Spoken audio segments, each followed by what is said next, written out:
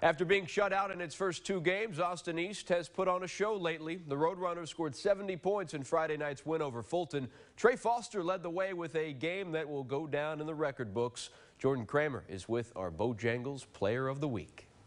Hey, Marshall, I'm here alongside Trey Foster and the rest of the Austin East football team.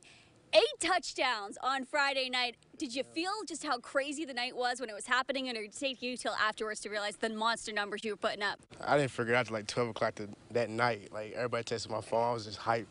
Like uh, everybody texted like, "Dang, Trey, you know what you just did?" I was like, "Nah, nah." Then I seen, I seen the stats. I said, eight touchdowns. I thought I just had like five or something like that, but 500 yards, I was like, what?